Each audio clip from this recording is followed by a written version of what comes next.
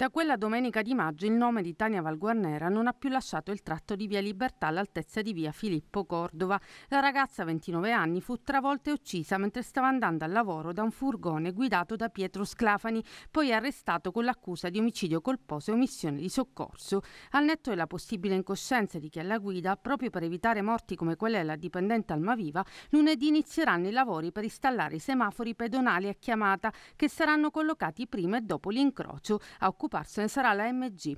L'omicidio di Tania Valguarnera è stato il caso più grave e drammatico in un tratto di via Libertà comunque pericoloso da attraversare per tutti i pedoni. Già sono stato investito sulle strisce pedonali nel 2001 all'incrocio di via D'Azeglio con via La Marmora, sono stato investito da una golf, sono stato un anno, per fortuna che non sono morto, sono stato un anno in fisioterapia, quattro interventi chirurgici, per fortuna ero giovane e mi sono ripreso. Finalmente lunedì dopo il fatto di Tania Valguarnera metteranno un semaforo per evitare ah, proprio che in via Libertà... alla fine il comune abbia sicuramente fatto una cosa positiva, almeno su questo. E speriamo che ripassi le strisce. E speriamo che ripassi sicuramente le strisce.